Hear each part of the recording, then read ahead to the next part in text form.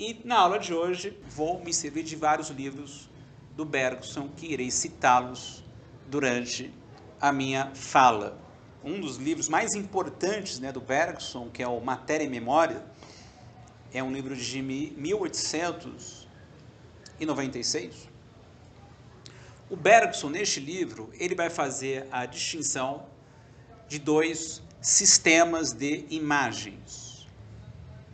Existe um primeiro sistema de imagens, que são imagens que nós não percebemos.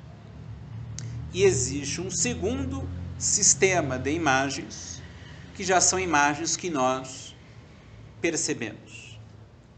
Nesse segundo sistema de imagens, diz o Bergson, há, na verdade, um recorte uma simplificação daquilo que já está no primeiro sistema de imagens. Um exemplo que eu gosto de dar sobre isso. Você tem a percepção do deserto. Só que você não tem a percepção de cada grão de areia que está lá no deserto. Então, a sua percepção do deserto é um recorte, é uma simplificação das imagens que já estão lá na matéria, mas que você não percebe aquelas imagens, ou seja, aqui simplificando, cada grão de areia que está lá, só que você não percebe cada grão de areia. Você tem uma percepção simplificada do deserto. Então você tem um primeiro sistema de imagens, grãos de areia, na verdade é mais ainda, que grãos de areia são moléculas, átomos, enfim e o segundo sistema de imagens, que é o deserto. Da mesma maneira, o mar. Né? Você também não tem as percepções moleculares do mar, as moléculas do mar. Você não tem essa percepção. Você tem uma percepção muito simples, que é aquela percepção do mar. Certo? Então, para o Bergson, não somente nós, mas todos os seres vivos percebem aquilo que lhes interessa. Então o cão percebe o que interessa a ele, é, o gato percebe o que interessa a ele, sempre as percepções dos seres vivos, sendo então esses recortes, essas simplificações daquilo que já está lá na matéria. Então nós percebemos as coisas, recebemos os estímulos dessas coisas e reagimos sobre o mundo. E nesse livro, no Matéria Memória, o Bergson vai criar um conceito chamado zona de indeterminação, para poder falar sobre o intervalo entre o estímulo que nós recebemos do objeto que nós percebemos e a nossa reação motora sobre o mundo. Então a gente recebe estímulos sonoros, visuais, olfativos, etc., percebemos né, as coisas né, que nos afetam né, por meio desses estímulos e nós passamos a reagir sobre o mundo. Só que aí vai existir um intervalo entre o estímulo recebido e a resposta efetuada. Esse intervalo ele denominou zona de indeterminação do ser vivo porque todo ser vivo, por mais simples que seja, uma célula, é, um organismo unicelular, percebe e reage sobre o mundo. Conforme aquele organismo vai se tornando mais complexo, começa a existir um sistema nervoso, cérebro, etc. Esse intervalo entre o estímulo recebido e a reação motora vai sendo cada vez maior. Então, evidentemente, um organismo unicelular tem um intervalo mínimo, porque é um organismo extremamente simples. É, já o tocar né, já é perceber, já reagir sobre o mundo. Só que nós, seres humanos, temos um organismo extremamente complexo. Diz o Bergson, nesse livro, Matéria e Memória, recebemos os estímulos do mundo material. Esses estímulos são transmitidos pelos nervos ao nosso cérebro. E aí o cérebro diz o Bergson, vai distribuir esses estímulos para os nossos mecanismos motores. Mecanismos motores da fala, do caminhar, é, do correr, do escrever, etc. Mecanismos motores, diz o Bergson, que não nasceram com a gente, foram produzidos no nosso corpo em razão da repetição de movimentos que nós temos nas relações com os objetos que a gente encontra no nosso cotidiano. Um exemplo: ninguém nasceu sabendo falar. Então aí a criança vai repetindo, repetindo, repetindo, e em cada repetição vai havendo uma produção desse mecanismo motor, até o ponto que ela fala. Ninguém nasceu sabendo escrever, você vai repetindo, repetindo, repetindo, até o ponto que acaba sendo produzido esse mecanismo motor, que é você escrever. Ninguém nasceu sabendo andar de bicicleta. Então você vai lá com rodinha, né, vai repetindo, repetindo, repetindo esses movimentos, até o ponto que é produzido no seu corpo esse mecanismo motor.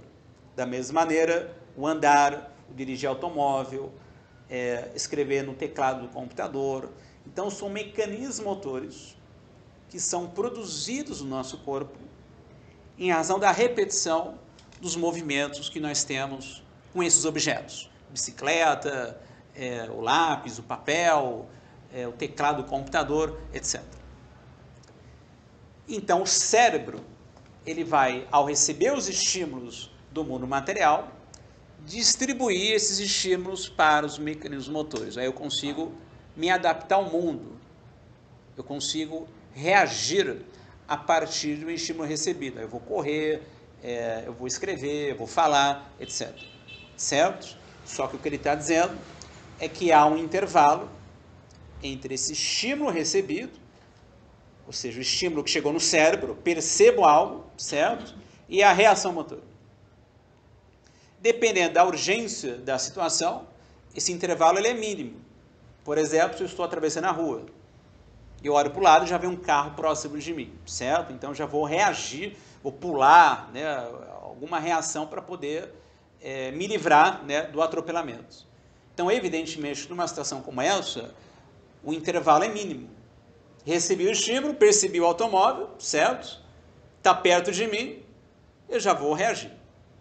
Agora, há situações onde a ação não é urgente. Então, eu posso adiar a reação motora. Aí, esse intervalo entre o estímulo recebido e a resposta efetuada, ele se torna maior. Certo? Ao contrário de uma situação, como falei, onde você está é, numa situação de risco, né, de ser atropelado, por exemplo. E ele vai dizer o seguinte: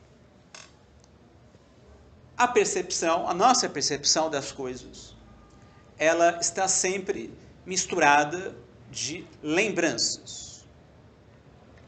Ou seja, perceber é também se lembrar. Então, Bergson vai introduzir agora um outro elemento que vai se misturar com a percepção, que é aqui a lembrança ou a memória. Ele vai dizer o seguinte: que ao mesmo tempo que nós percebemos algo, já vem em nós uma lembrança que nos permite reconhecer aquele objeto percebido por nós. Isto é, a gente não somente consegue se adaptar às exigências da vida social, porque a gente tem um mecanismo motor. Não é somente por causa disso. Eu não consigo apenas me adaptar à necessidade de é, andar, é, de escrever, de me comunicar, simplesmente porque eu tenho esses mecanismos motores. Não é somente por causa disso. É porque antes da reação motora, já se apresentam em mim lembranças que me permitem reconhecer aquelas coisas. Aí que entra também o papel do cérebro, diz o Bergson, que vai atualizar lembranças úteis que me permitem reconhecer aquele objeto. Ou seja, para o Bergson, o cérebro, que é um órgão de ação, ele não apenas vai distribuir os, os estímulos recebidos para os mecanismos motores, mas ele é um órgão de atualização das lembranças.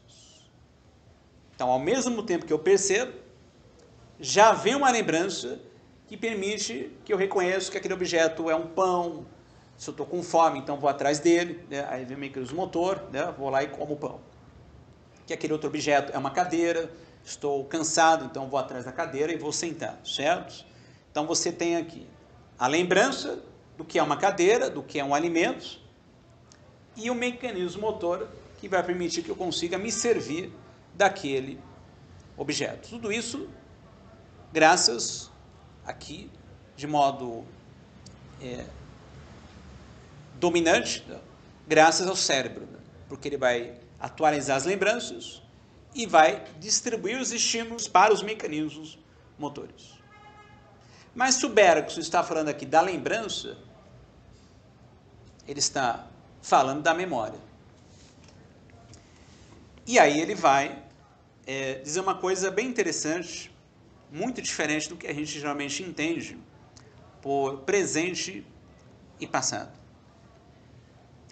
Ele vai dizer o seguinte: na verdade, é, o presente é aquilo que não cessa de passar, porque você não consegue capturar o presente, o instante presente. Quando você diz assim, agora já foi, já passou, certo? Só que existe em nós a memória que vai registrar cada instante percebido. Isso significa o seguinte para o Bergson. Ao contrário do que a gente geralmente entende por presente e passado, porque geralmente a gente entende que o passado é aquilo que foi. Né? Você dizer assim, o presente é agora, certo? Ah, o passado é ontem, hoje de manhã, etc. Então o passado vem depois do presente. Isso pelo senso comum. O Bergson vai dizer não. Na verdade, o passado ele é contemporâneo do presente. Isso significa o seguinte: que a cada instante percebido por nós, um instante presente, percebido por nós, existe, pela memória, onde entra o passado, um registro daquele instante. Então você tem, por exemplo, aqui, né, a sucessão dos instantes presentes, certo? Eu digo agora, já, já passou. Aí vem mais um instante. Então você tem uma sucessão dos instantes presentes. Aí você tem algo de outra natureza, que é a memória, ou seja, o passado, que vai registrar cada instante que passa aqui. Então eu vou percebendo os instantes que vão se sucedendo e a memória, ela vai registrando cada instante que eu vou percebendo. Então a memória ou o passado não vem depois do presente. Ela é contemporânea do presente. Tem um instante presente aqui, há um registro desse instante pela memória, certo? Aí há uma sucessão, porque um instante você não pega, você não fixa ele, certo? Aí vem um outro instante que você percebe, a memória vem e registra esse instante. E assim vai. Então o passado, em razão da memória, ele se conserva nele mesmo. Ou seja, só pelo fato de eu existir, de perceber instantes presentes, o meu passado ele vai se enriquecendo. Por quê? Porque cada instante percebido por mim não se perde, se conserva na minha memória. Certo? Então é por isso que para o Bergson passado ele é contemporâneo do presente. Então nosso passado ele vai é, se enriquecendo, ele vai se constituindo a cada instante que nós percebemos. Aí você percebe algo, já vem uma lembrança do virtual para a minha consciência. O que é esse virtual? É a realidade inconsciente do passado ou da memória. Porque como existe uma conservação do passado nele mesmo, há uma realidade não atual, não consciente desse passado. Ou seja, tudo que nós vivemos, desde o nosso nascimento, se conserva em nós. Só que a maior parte disso é inconsciente, é virtual. Carregamos o nosso próprio passado.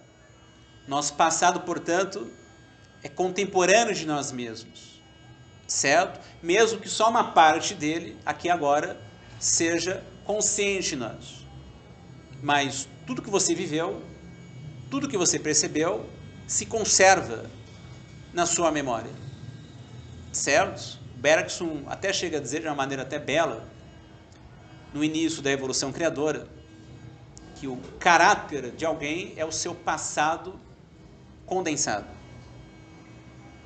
Ou seja, é, o nosso modo de ser, né, o caráter de alguém, é na verdade tudo que essa pessoa viveu. Porque, como falei para vocês, mesmo que eu não tenha consciência aqui agora de tudo que eu vivi, certo? Isso que eu vivi é, está conservado em mim. É, na verdade, o que hoje eu sou. Mas, como falei para vocês, existe a atualização de algo desse passado. Logo, para Bergson, existe uma pressão contínua do passado para poder se atualizar na minha consciência. A lembrança, diz ele, de virtual, a lembrança se torna atual. Uma lembrança pura se torna em mim uma imagem lembrança. Aquele carro que eu, ao percebê-lo, eu reconheci, né? porque vem a lembrança né? do automóvel, né? é uma imagem, lembrança que veio do virtual. Eu não fui buscar, ela veio, certo? É, ao perceber, já veio já a lembrança, já dessa realidade virtual inconsciente do passado. Mas notem só. Como existe uma pressão contínua do meu passado, que é, na verdade, o conjunto dos registros dos instantes que eu percebi, essa atualização do meu passado na minha consciência pode ser mais banal, pode ser mais utilitária, ou pode ser a mais rica, pode ser inútil. Isso vai depender daquele intervalo que eu falei para vocês, que ele chamou de zona de indeterminação, que é o intervalo entre o estímulo recebido e a resposta efetuada. Numa situação de perigo, atravessando a rua, olho para aquele automóvel, vem a lembrança uma lembrança banal, uma lembrança utilitária. É um automóvel, não é a marca, não é a cor, é, não é o automóvel da minha infância, do meu pai, não é isso. É o mais simples possível para que eu reconheça aquele objeto e possa, numa situação como essa, me livrar né, de ser atropelado. Certo? Então, aqui o intervalo entre o estímulo e a reação motora é mínimo. Vem uma lembrança do automóvel, pronto. Independentemente dos seus detalhes. Porque se viesse, eu seria atropelado. Né? Ah, é um, sei lá, é um Renault né, que está vindo na minha direção, né? cor prateado. Né? Já foi, você já foi atropelado, certo?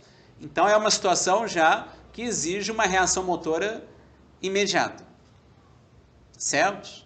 Mas há situações né, onde a gente não precisa reagir imediatamente. aí se atualiza em nós lembranças com mais detalhes.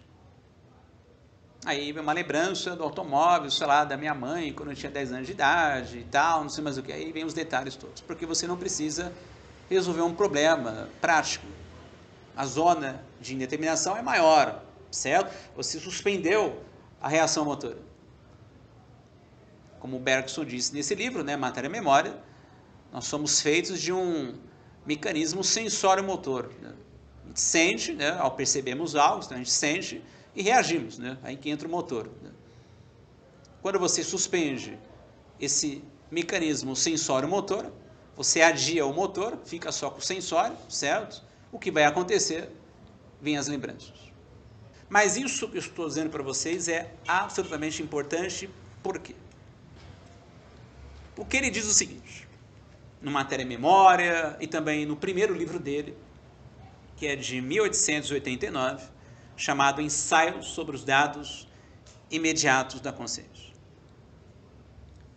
Ele diz: a vida social exige de nós ações utilitárias.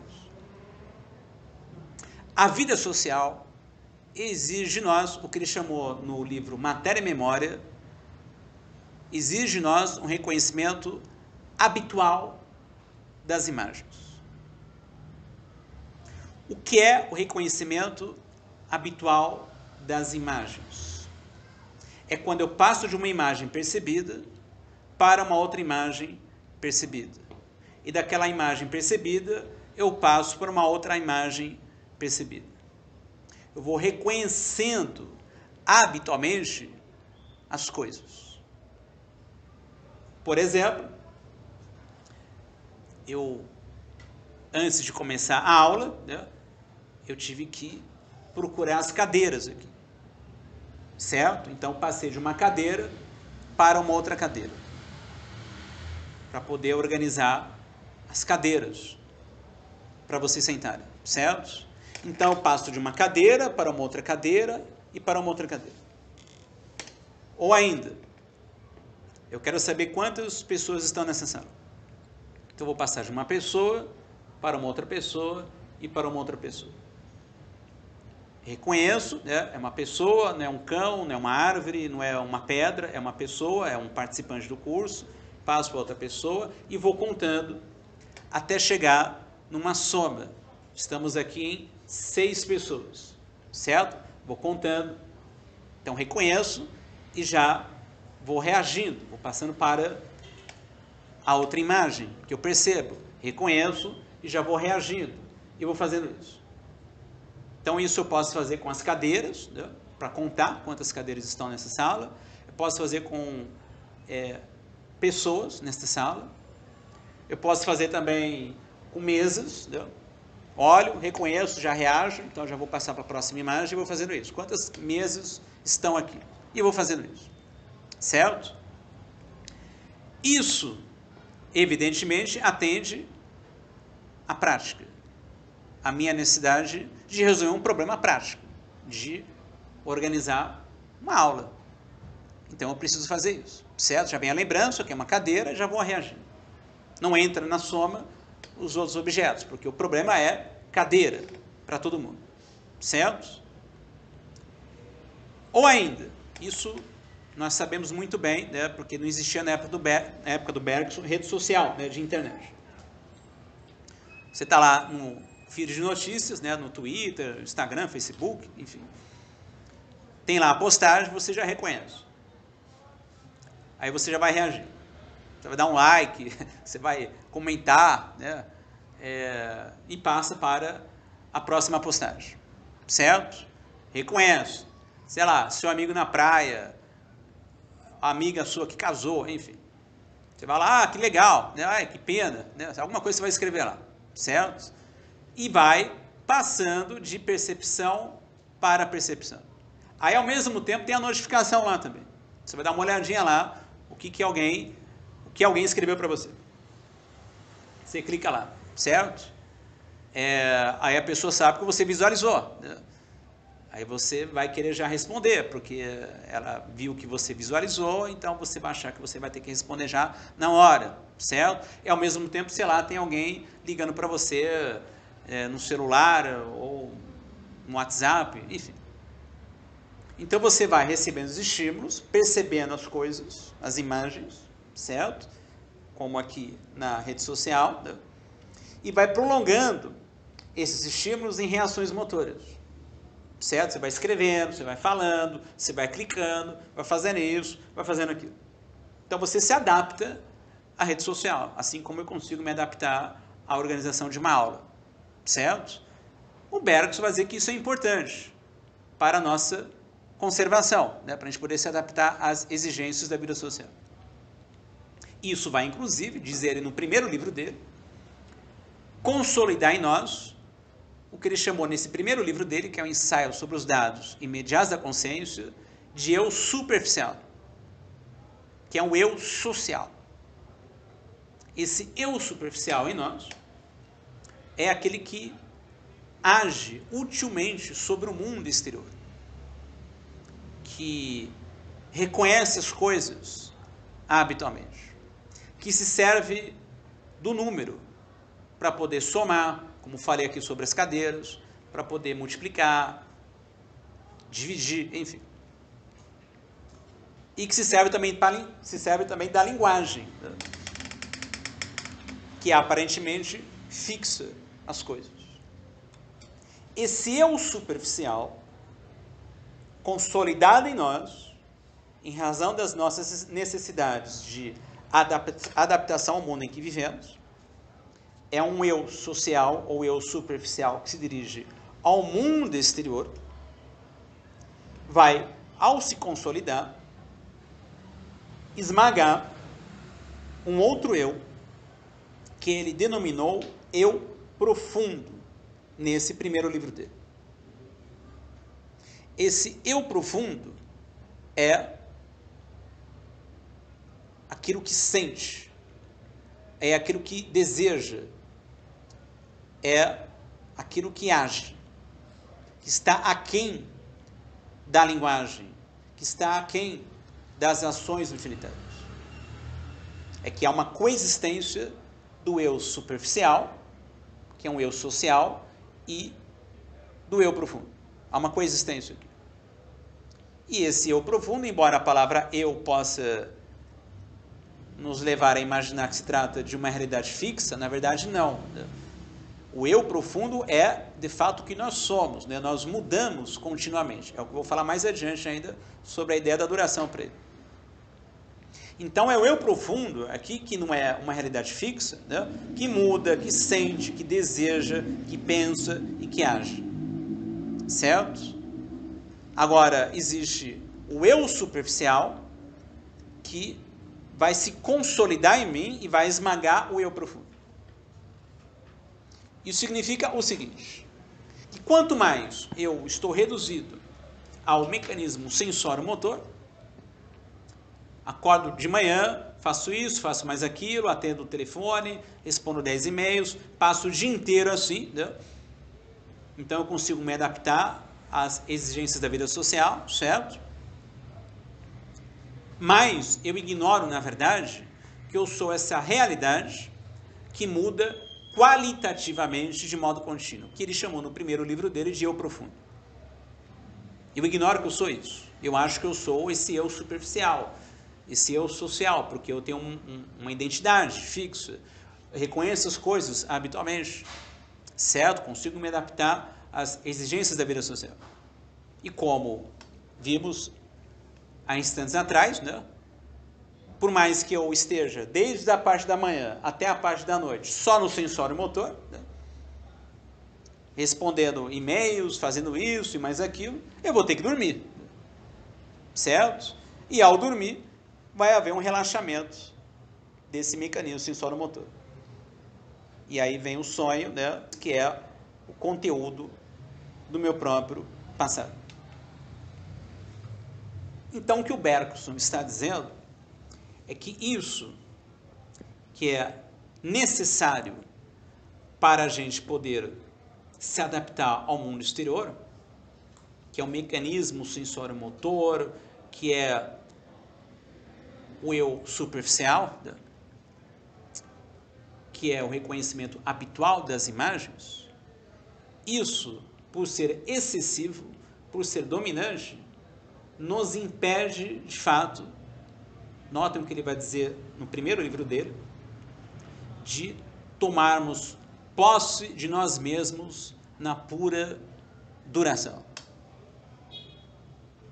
Eu não tomo posse de mim mesmo na pura duração, eu profundo aqui, né, esse tomar posse de mim mesmo, né, potência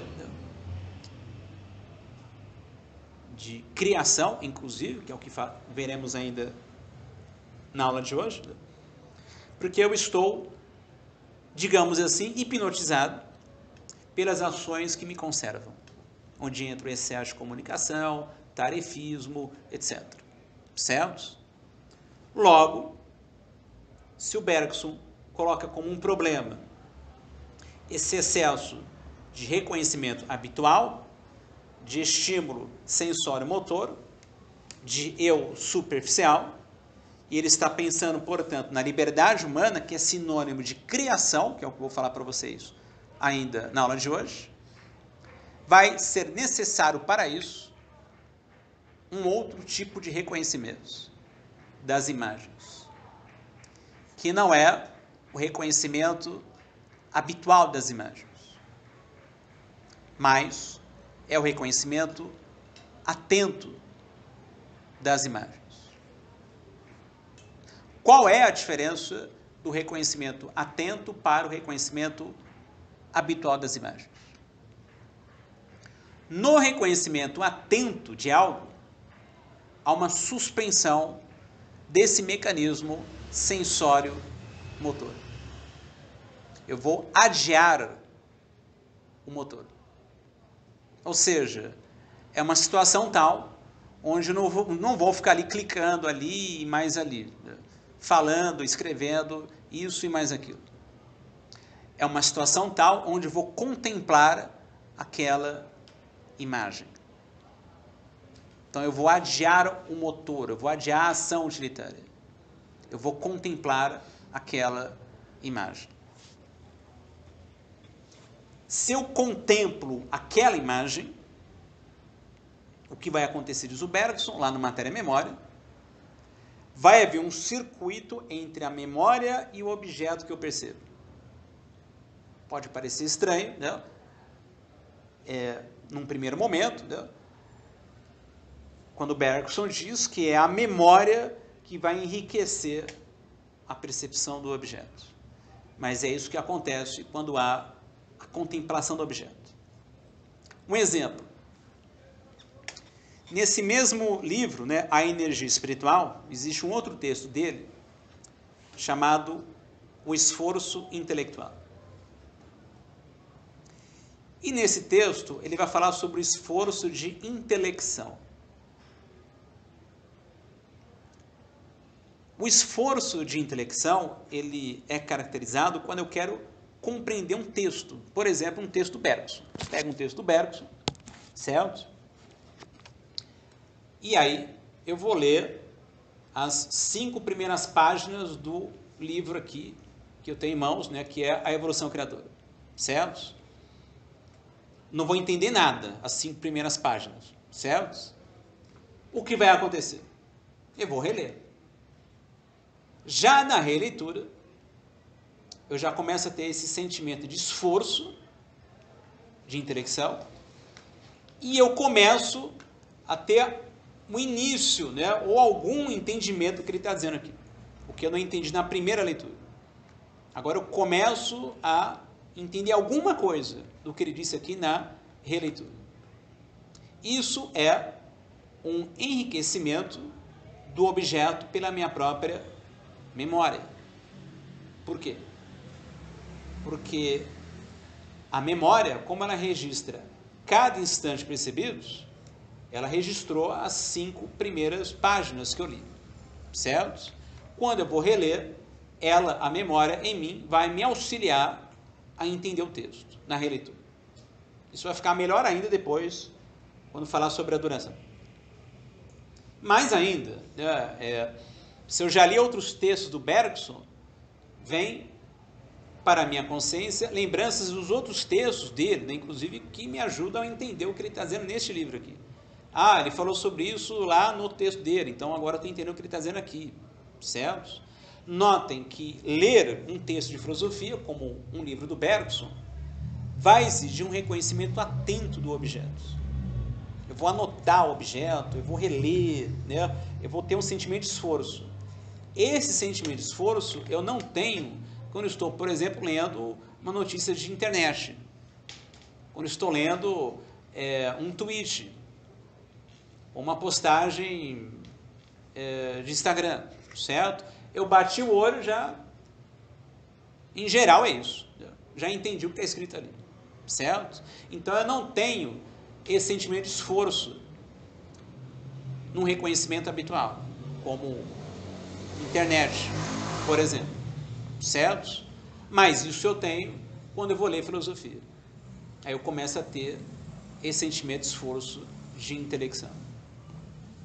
Então eu começo a entender o Bergson, porque eu posso ter um reconhecimento habitual do livro, né? Eu reconheço, reconheço habitualmente que é um livro de filosofia do autor chamado Bergson e tal. Aí eu já passo para outra coisa e tal, certo?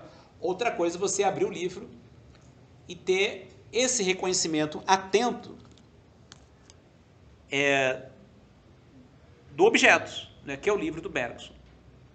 Certo? Isso é importante por quê? Porque vão se apresentar em mim Lembranças que, em geral, elas não se atualizam, né?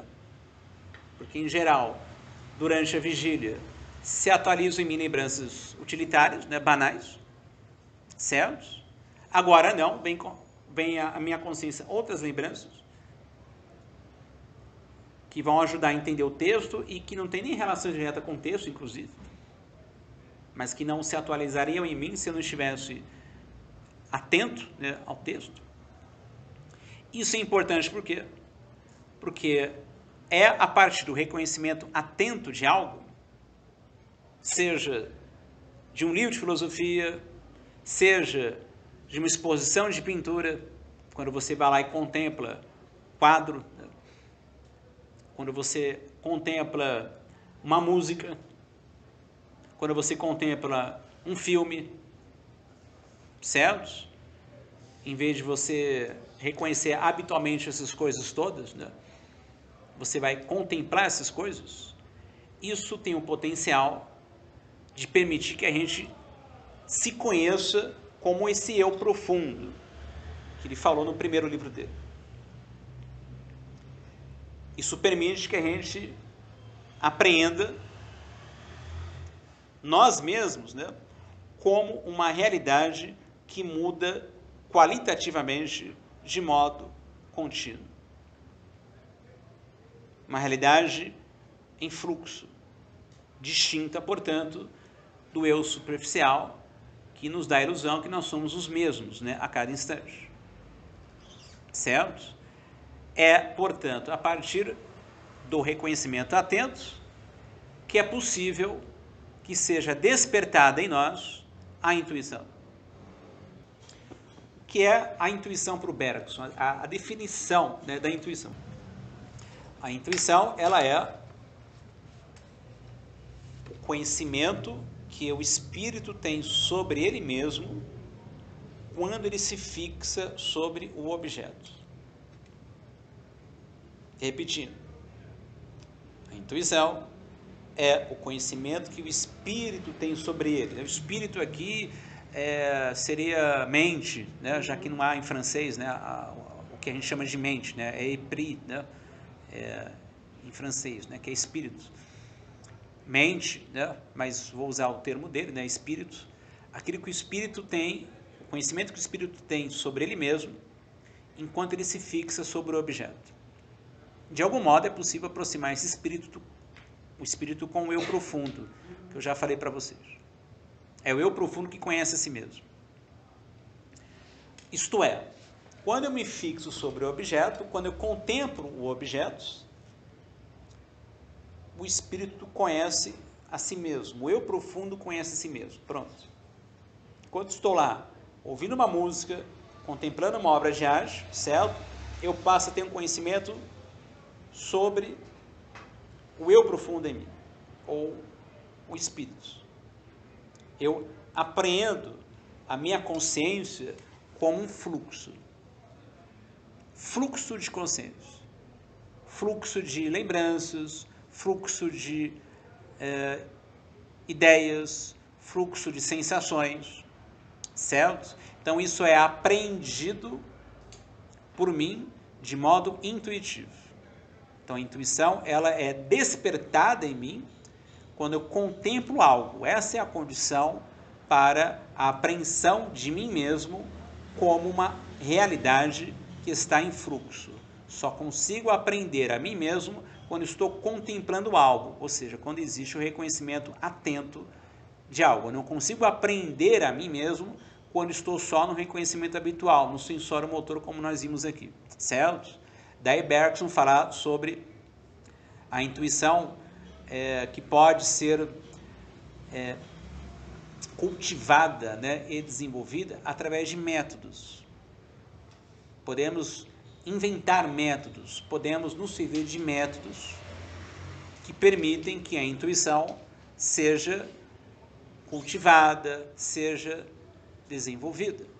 Há autores né, que trabalham com as ideias do Bergson que vão falar sobre alguns métodos sobre isso, como por exemplo meditação, como por exemplo é, oficina literária e outros métodos que vão permitir que as pessoas se apreendam de modo intuitivo, como fluxo de consciência. Portanto, para o Bergson, a intuição é sempre a intuição da duração, que é o tempo real para ele. Existimos na duração, mudamos na duração. Sobre isso, vale a pena aqui usar um exemplo dele mesmo, que está no primeiro livro dele, né, um ensaio sobre os dados imediatos da consciência. Vocês viram aqui que há uma sucessão de instantes presentes. Né? Então, presente está sempre passando, na verdade, porque os instantes se sucedem, certo?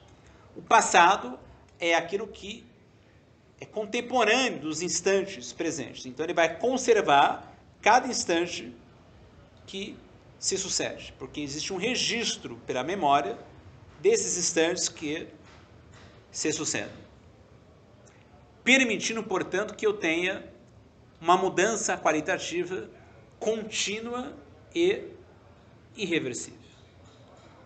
O exemplo dele é da oscilação de um pêndulo, de um relógio. O famoso tic-tac né, lá do relógio, certo? O que ele diz lá? Eu percebo aquele instante né, que é a oscilação lá do pêndulo do relógio, o tique, né, lá do pêndulo do relógio, certo? Esse instante vai embora, né, porque vai surgir um outro instante que eu percebi, que é o taque, né, lá do relógio, ou seja, a outra oscilação do pêndulo do relógio.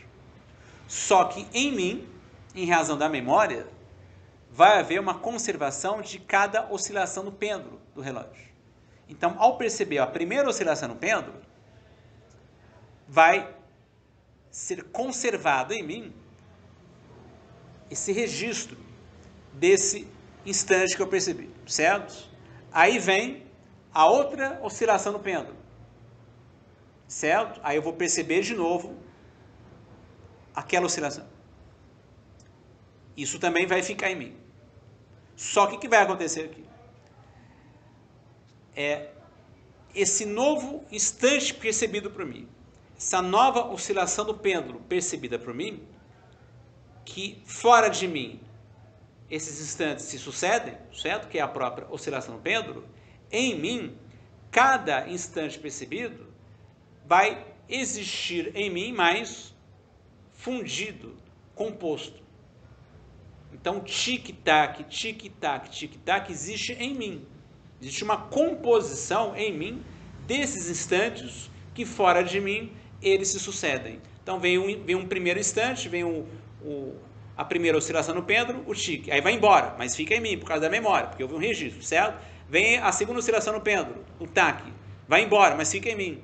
E fica em mim já composto, já fundidos esses instantes. Aí tic-tac, tic-tac, tic-tac, e cada instante que eu vou percebendo vai me modificando qualitativamente, produzindo em mim novos estados psicológicos. Até o ponto que eu posso dizer o seguinte: não aguento mais este tic-tac.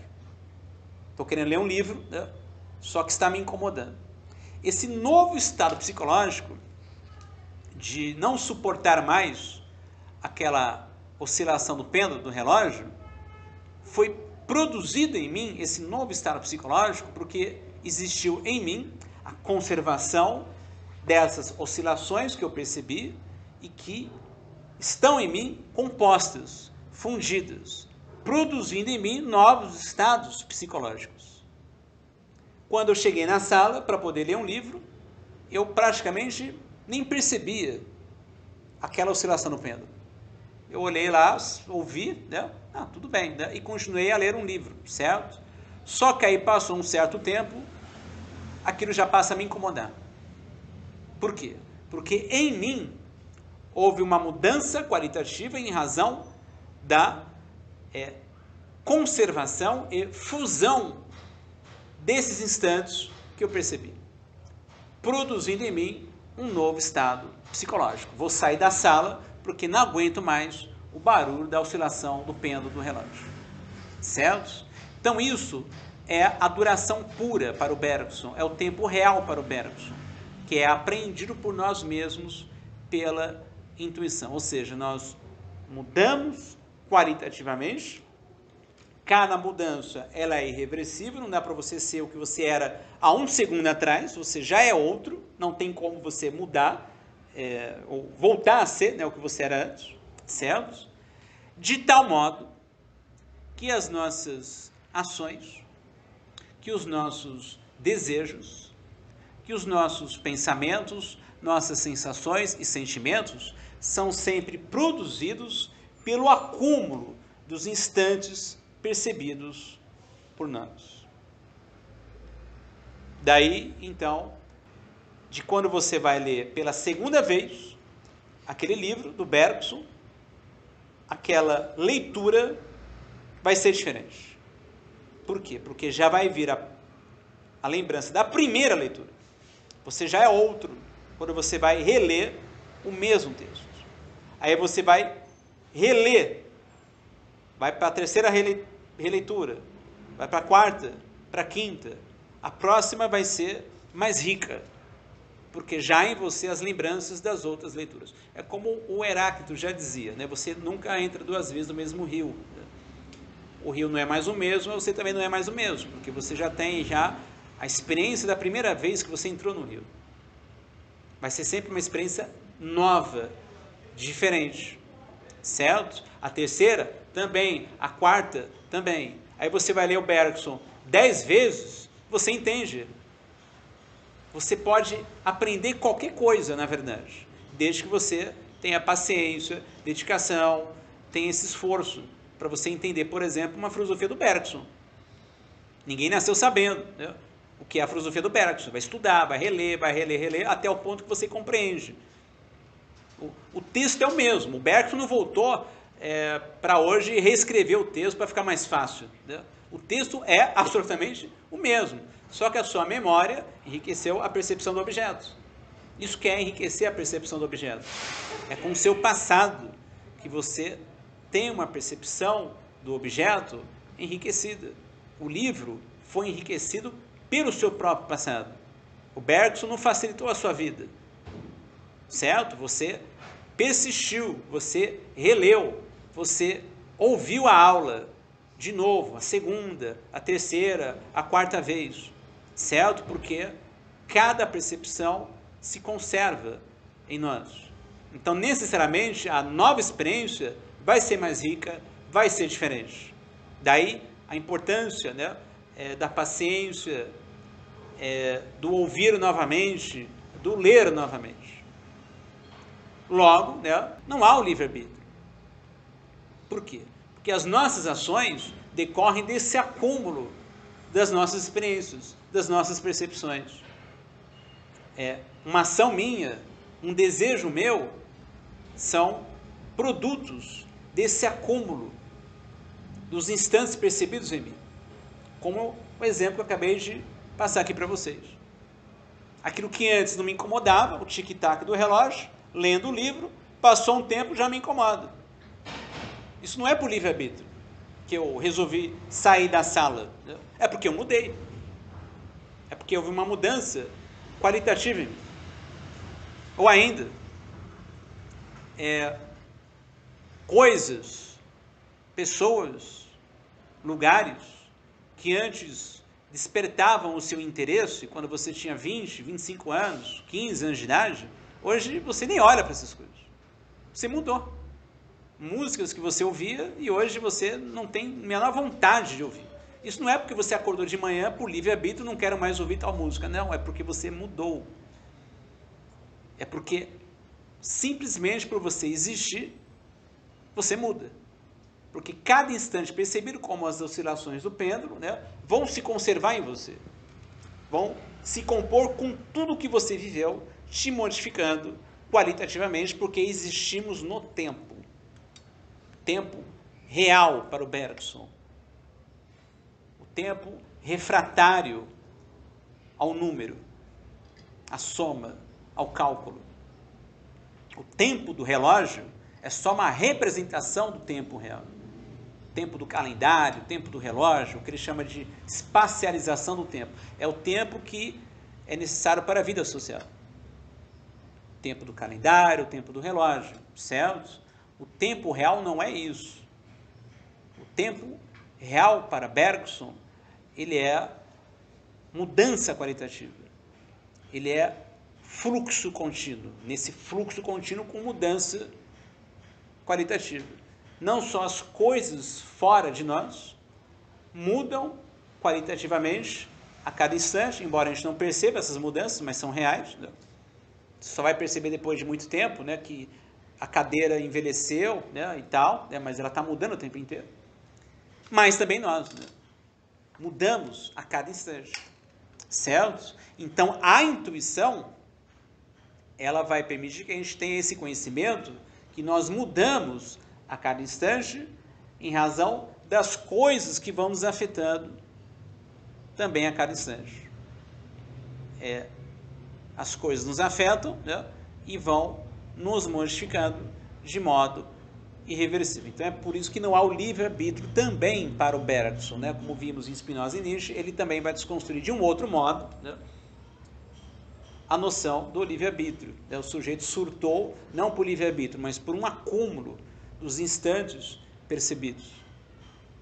Em relação com o trabalho, com isso, mas aquilo que está lá nele, né, se acumulando, está nele modificando-o né, qualitativamente até o ponto que aí ele age de uma maneira absolutamente imprevisível. Não é por livre-arbítrio. Certo? É, isso, então, não é possível de ser aprendido pela nossa inteligência. O que, que ele fala sobre a inteligência? A inteligência humana, ela visa, sobretudo, a fabricação de instrumentos. O ser humano, desde que existe, fabrica instrumentos. Instrumentos para se proteger do frio, instrumentos para poder caçar, etc. O ser humano, desde que existe, fabrica instrumentos, em razão da sua inteligência. Não que não haja inteligência no cão, no gato, etc., mas a inteligência no ser humano é muito mais desenvolvida. Nos outros animais, o que é muito mais desenvolvido é o instinto. Certo? Então, a nossa inteligência, para poder fabricar, diz o Bergson, ela vai ter um conhecimento sobre as relações entre as coisas, de causa, efeito, de continente, de conteúdos, onde entra o mecanicismo, onde entra também o finalismo. Então, para poder, por exemplo, fabricar uma cadeira para resolver um problema prático. Né? Aí entra o finalismo, né? tenho que chegar lá né, na cadeira fabricada, né? eu vou me servir do mecanicismo. As mesmas causas vão dar os mesmos efeitos.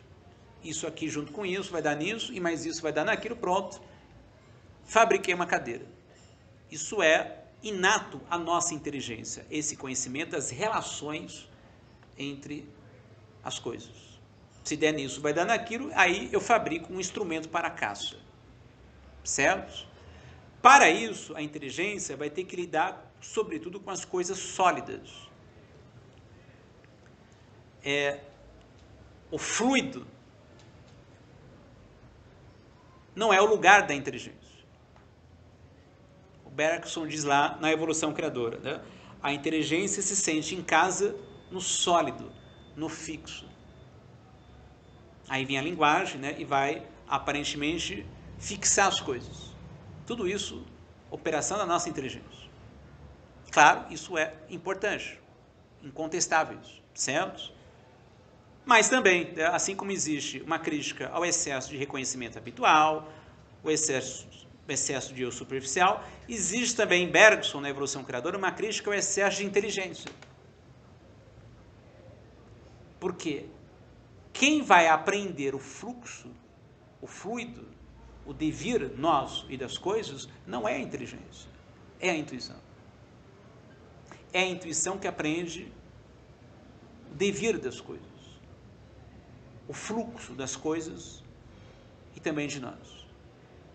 A tendência da nossa inteligência é fixar tudo, abarcar tudo pelo conceito. Conceito de árvore, né? abarca todas as árvores que existem, etc. Certo? Então aqui a inteligência está em casa, diz o Bergson. Mas a inteligência ela é incapaz de aprender o movimento da vida o devir das coisas, a mudança real das coisas. Isso a inteligência ela não aprende. Quem vai aprender é a intuição. Os nossos hábitos pragmáticos estão carregados de inteligência.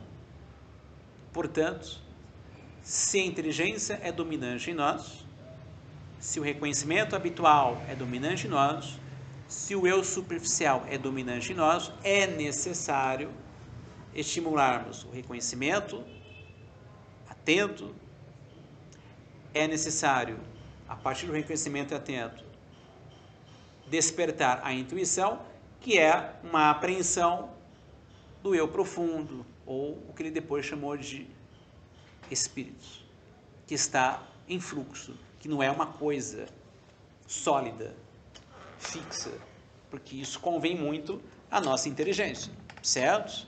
A intuição vai aprender o fluxo do mundo e também nós também em fluxo ou em devir. Daí os métodos né, necessários para suspendermos o sensório motor e nos conhecermos dessa maneira e conhecermos as outras coisas também dessa maneira. Um devir universal, certo? É, mas não é apenas é, suficiente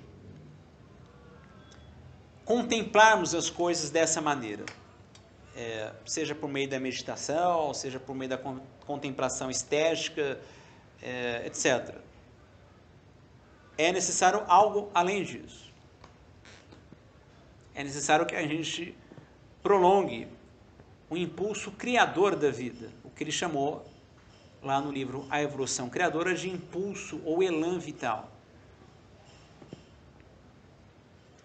É, esse elan ou impulso vital que todo ser vivo carrega consigo é essencialmente um impulso criador.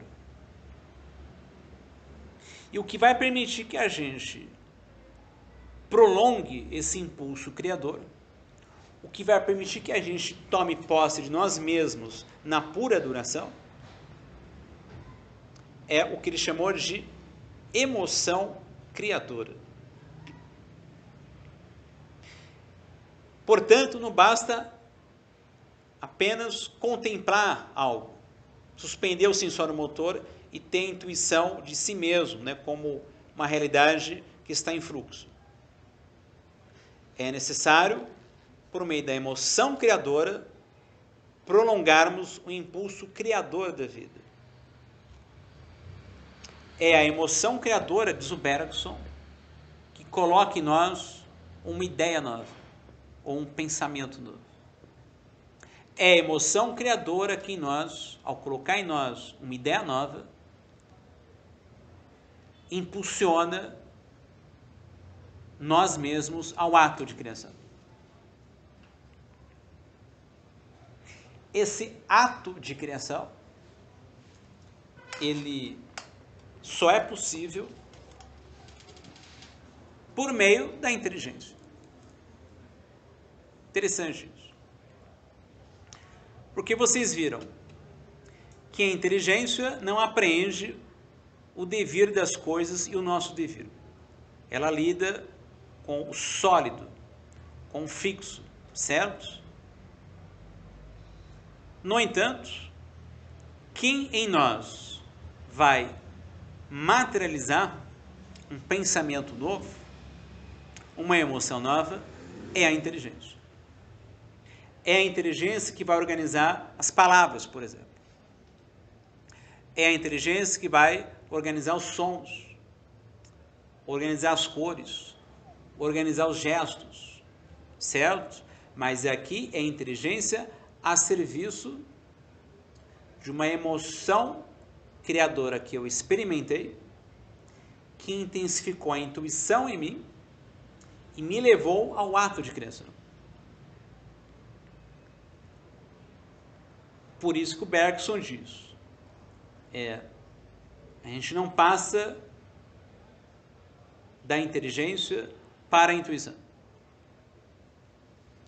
Mas, quando temos a intuição intensificada pela emoção criadora, e aqui, e aqui me parece possível vocês entenderem que só é possível eu ter essa emoção criadora se eu suspender o sensório motor, né? se eu contemplar algo, é aqui que eu sou capaz de ter essa emoção criadora ouvindo uma música, é, lendo um livro, assistindo a um filme, né? uma obra de arte qualquer, né? aí eu posso ter essa emoção criadora e essa emoção criadora vai colocar em mim uma ideia nova e vai me levar à materialização dessa ideia e dessa emoção. Se eu sou poeta, eu vou materializar isso por meio do poema. Se eu sou músico, por meio da música. É, se eu sou é, pintor, né, por meio da pintura, etc. Então aí que vai entrar a importância da inteligência em mim, que é ela que vai organizar isso tudo, para poder dar expressão a um pensamento novo. Isso tem muito é, tem muito a ver também com o que o Deleuze diz, mas isso talvez não chegue a falar na próxima aula, porque isso já seria já um outro tema em Deleuze. Né? Quando o Deleuze diz né, que criar é resistir. Né? Você só resiste à proliferação da besteira né, ou da opinião, como diz o Deleuze, criando. É, Deleuze chega a dizer, né, a besteira nunca é muda e nem cega, né? ela tem que circular. As opiniões, os clichês, tem que circular e circulam muito mais hoje do que na época que o Deleuze disse isso, certo? Para resistir a isso, tem que ter a criação, mas a criação vem da onde? Aí retomando aqui Bergson, né? vem de uma emoção criadora, que você pode ter numa exposição, que você pode ter ouvindo uma música, assistindo a um filme, é, caminhando, certo? De repente você é tomado por uma emoção criadora que coloca em você um pensamento novo e você vai dar expressão a esse pensamento novo. Certo? Mas aí a dificuldade, como nós vimos aqui, né? Para poder ter essa emoção criadora, tem que suspender o sensório motor, né? Tem que é, realizar um movimento inverso a este que é estimulado pela vida social, né? que são esses momentos de vagabundagem, de inutilidade, né? é, onde você abre a possibilidade de ser tomado por essa emoção criadora. É ela, diz o Bergson, a emoção criadora, que é a fonte das grandes obras né, na arte, na ciência, na filosofia. um músico grandioso, né? um Bach, um Beethoven, um Mozart, né? é, um Van Gogh, etc., certamente foram tomados por essa emoção criadora. E a dificuldade, notem só, que esses artistas, para ficar só aqui entre os artistas, claro, porque emoção criadora qualquer um pode ter, né? que esses artistas tiveram para poder se adaptar à sociedade. Van Gogh, né? dificuldade enorme para poder se adaptar à sociedade. Beethoven, né? sempre problemas financeiros né? para pagar as contas, né? porque é onde está a vida para esse pessoal. Né? É onde a vida realmente interessa. Né? É, é, nos devírios, né? é nas emoções, né? e não nas banalidades do cotidiano. É, e a dificuldade que eles tiveram e que o grande artista tem né? de é, se resignar né? à banalidade do cotidiano. Né? Para alguns é, é, não dá, né? e aí chega-se até o ponto do Van Gogh, né? de dar um tiro né? no próprio peito. Então, é, nota a importância disso né, na educação, na clínica, é, no trabalho, enfim, em qualquer lugar, né, só para a gente poder fechar aqui, das ideias do Bergson.